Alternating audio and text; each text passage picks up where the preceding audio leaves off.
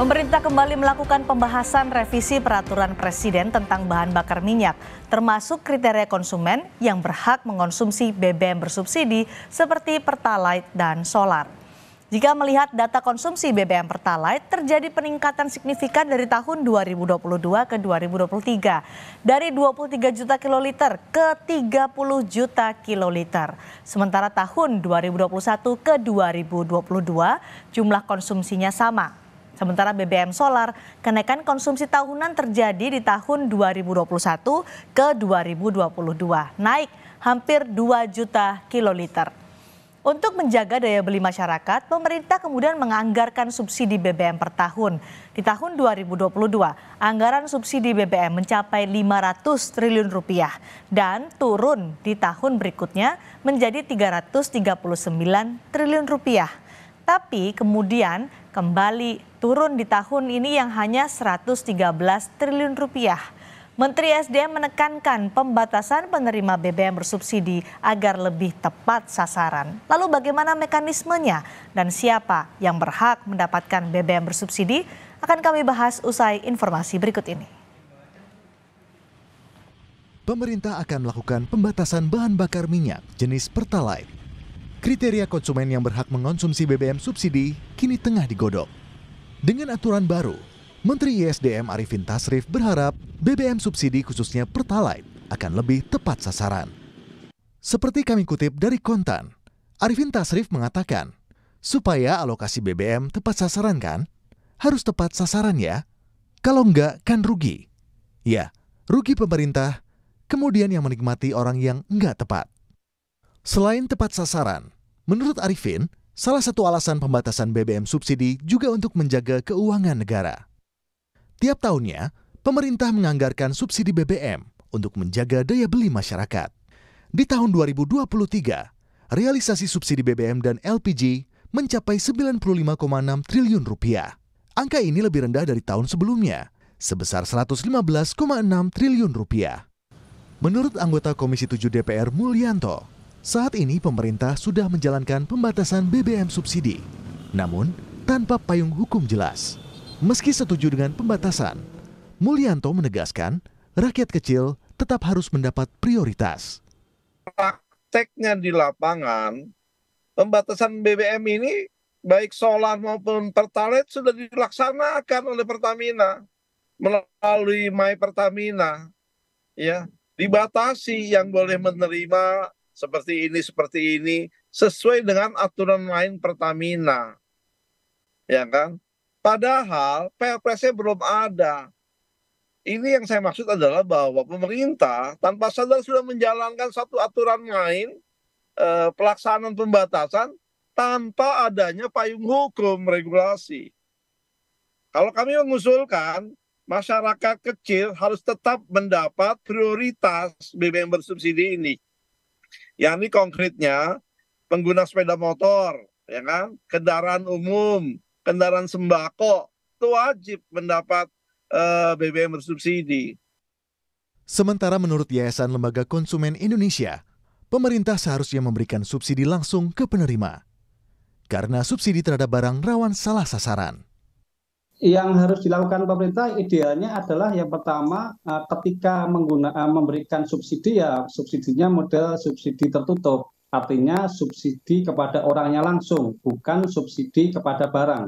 Selama ini yang dilakukan uh, pemerintah melalui Pertamina kan subsidi terhadap barangnya, yaitu ke Pertalite maupun solar. Subsidi terhadap barang itu sangat rawan dan sangat rentan terhadap penyalahgunaan dan salah sasaran. Nah, idealnya pemerintah berani melakukan subsidi secara tertutup. Dengan demikian, harga Pertalite harga solar tetap merupakan harga pasar, tetapi masyarakat-masyarakat yang memang membutuhkan atau memang uh, berhak mendapatkan subsidi, mereka disubsidi secara langsung. Menteri ESDM menegaskan, aturan kriteria penerima Pertalite ditargetkan berjalan tahun ini. Tim Liputan, Kompas TV. Siapa saja yang berhak mengonsumsi Pertalite dan apa dampaknya jika pengguna Pertalite dibatasi? Kami bahas malam ini bersama Lamhot Sinaga, anggota Komisi 7 DPR RI, dan Nailul Huda, peneliti Indef. Selamat malam, Pak Lamhot dan Nailul. Selamat malam, Mbak. Baik, terima kasih sudah bergabung di Sapa Indonesia Malam. Uh, terkait dengan pembatasan Pertalite, waktunya haruskah tahun ini 2024 di awal karena beberapa waktu terakhir masyarakat sudah dihadapkan dengan kenaikan harga bahan pokok, kemudian juga uh, PPN yang naik satu persen poin, kemudian ditambah lagi dengan pembatasan Pertalite. Tepatkah waktu pembatasan itu tahun ini? Pak Lamhot. Pak Lamhot masih di mute sepertinya Zoom-nya. Ya, silakan. Oke. Kedengaran? Ya, silakan Pak Lamhot. Ya. Ya, pembatasan ini sebenarnya kan tidak boleh diberlakukan ya karena memang uh, regulasinya yang belum mengatur te terhadap pembatasan ini. Tapi saya menduga bahwa pembatasan ini dilakukan karena uh, terkait terhadap usulan Pertamina untuk mm -hmm. uh, mengganti Pertalite terhadap uh, Pertamax Green 92 ya. Jadi ada ketentuan memang bahwa Pertamina tidak boleh lagi me, apa, uh, BBM untuk RON 90 ya karena ada batasan itu minimal RON 91. Nah, dengan adanya pembatasan dari Kementerian Lingkungan Hidup, nah sehingga mereka ber, uh, mengusulkan kepada pemerintah, Pertamina mengusulkan kepada pemerintah untuk mengganti uh, Pertalite terhadap Pertamax Green 92 ya. Nah, mungkin kalau kemudian nanti pemerintah merespon ini ataupun menyetujui katakanlah seperti itu maka perlu diperlukan sebuah penetrasi market atau dalam hal ini uh, apa uh, supaya pasar nanti tidak kaget ya. Hmm. kalau kemudian ini berhasil diganti. Dugaan saya seperti itu yang dilakukan oleh Pertamina. Tapi apa pun itu yang jelas pembatasan ini tidak boleh diberlakukan kalau tidak ada payung hukum ataupun regulasi yang mengatur terhadap pembatasan itu. Mm-hmm. Kita tidak boleh mengorbankan masyarakat ya dalam hal ini masyarakat kecil khususnya mereka pengguna BBM subsidi. Apalagi dalam waktu dekat kita akan uh, masuk ke apa menyongsong Idul Fitri ya Lebaran. Tentu kan kebutuhan masyarakat uh, kecil itu sangat sangat penting sekali untuk dijaga ya supaya tidak ada uh, kebutuhan-kebutuhan masyarakat yang tidak terpenuhi oleh Pertamina. Oke, baik. Nah, Kemudian? Ya. Ya, yang yang yang kalau memang Pertamina melakukan pembatasan dengan dasar ter tersebut, saya kira itu adalah sesuatu yang sangat uh, tidak betul ya, sangat tidak apa, okay. tidak pas ya. Baik. Nah, Baik, saya akan ke nah, ke Mas Nailul. Bagaimana catatan dari Indef, catatan Anda terkait rencana pemerintah membatasi pembelian pertalite? Sebelumnya kan kita sudah pernah juga uh, dihadapkan pada kondisi ini ketika menggunakan aplikasi My Pertamina nih. Mas uh, Nailo.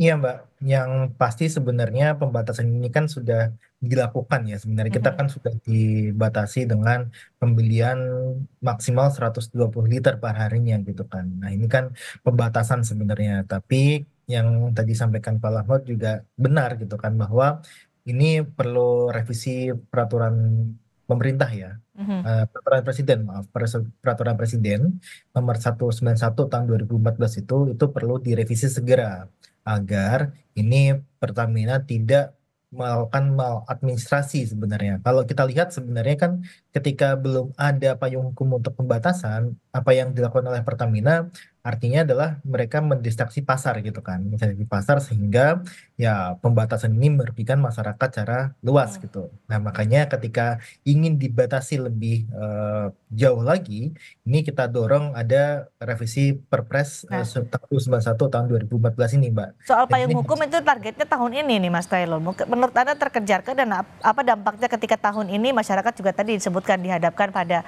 kenaikan harga bahan pokok yang sampai sekarang masih terjadi, kemudian kenaikan PPN 12 eh, persen menjadi 12 persen. Itu gimana dampaknya, ya. Mas? Ya, dampaknya pasti pada pilihan ya, pilihan masyarakat untuk menggunakan bahan bakar itu akan tertuju ataupun akan terbatas pada Pertamax gitu kan, di mana itu harganya lebih tinggi gitu kan. Nah, ini yang saya sebutkan mungkin dampaknya tidak akan langsung dan signifikan seperti menaikkan harga dari Pertalite, tapi bagi sebagian besar masyarakat kita masih menggunakan Pertalite, ini akan sangat terpukul sekali Mbak, terutama kelas menengah dan menengah ke bawah oh. ya. Nah, ini yang pasti akan terpukul dan ini saya rasa ini dalam jangka waktu tertentu akan merugikan ataupun menekan daya beli kita gitu. Nah ini yang yang harus kita hindari pembatasan-pembatasan seperti ini yang harus ada payung hukumnya serta ada kajian dampaknya yang lebih uh, komprehensif. Mhm. Pak Lamho dari DPR sebenarnya siapa saja sih yang menurut uh, DPR berhak untuk menggunakan pertalite? Ya yang jelas yang berhak menggunakan pertalite itu adalah mereka-mereka yang pada saat ini masih pengguna BBM subsidi ya dan mereka yang uh, layak untuk kita bantu dari sisi uh, apa kebutuhan mereka dalam hal penggunaan BBM. Tapi saya ingin melihatnya Cindy begini. Pertama nggak bisa juga memang teman-teman di Pertamina kan memang uh, membutuhkan respon yang cepat dari pemerintah ya. Karena pengaturan ini juga kan perlu dalam waktu dekat.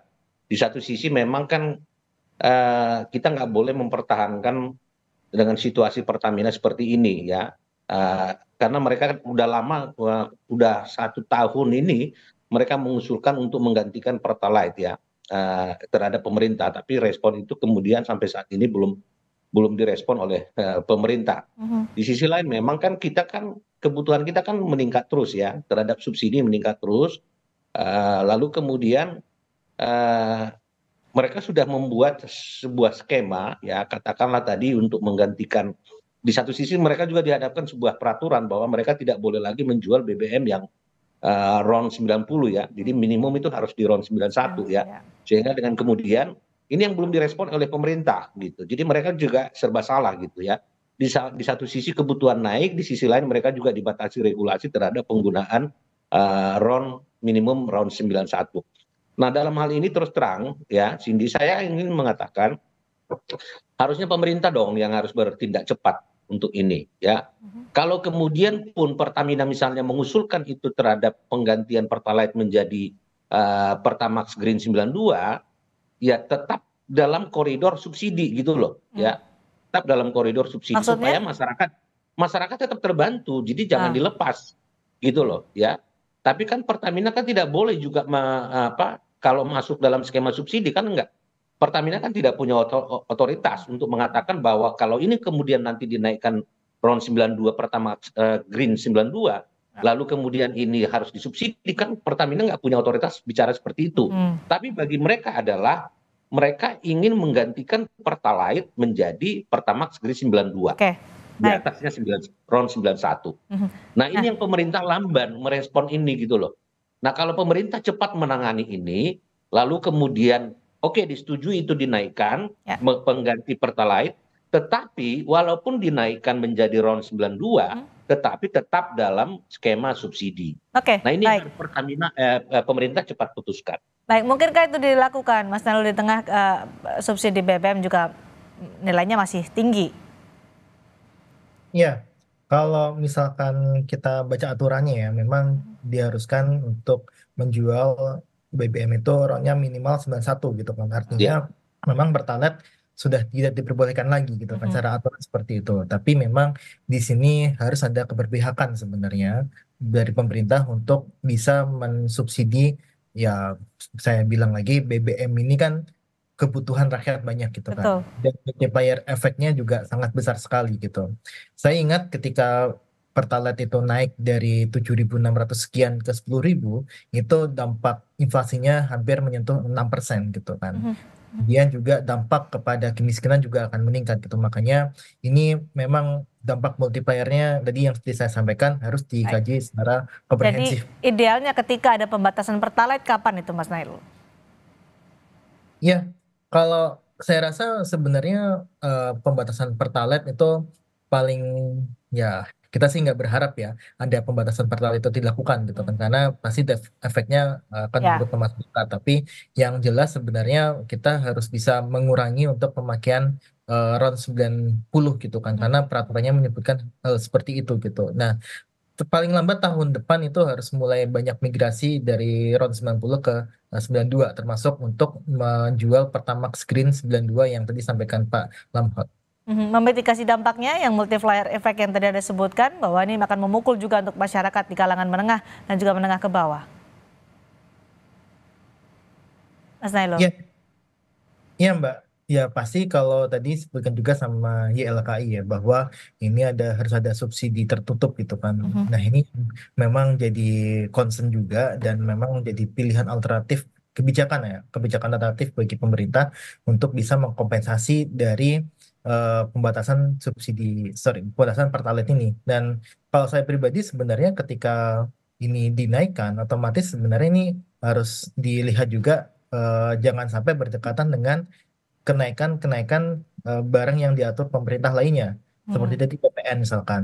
Berarti ini tidak boleh berdekatan dengan eh, kenaikan rencana kenaikan pemerintah PPN ya, PPN dari 11% ke 12%. Harus ada jeda waktu tertentu gitu. Dan Hmm. kita saya rasa sih sebenarnya ya dengan ada aturan, kemudian ada revisi dan sebagainya, Ya. itu sudah bisa menjadikan payung hukum yang jelas. Nah, yang kedua, Mbak, ini saya yang ingin saya sampaikan juga bahwa ya kita sebenarnya mendukung untuk ya eh, APBN kita kuat gitu kan, tapi juga satu sisi ini harus bisa menjaga daya beli masyarakat sehingga tidak menimbulkan multiplier negatif kepada kemiskinan, kepada daya beli dan sebagainya. Baik, harus dihitung hati-hati, disiapkan payung hukumnya dan juga disiapkan nanti mitigasi supaya tidak memukul masyarakat menengah dan menengah ke bawah dengan adanya pembatasan pertalite ini. Terima kasih Pak Lamut, terima kasih juga Mas Nailul sudah berdiskusi di Sapa Indonesia malam hari ini.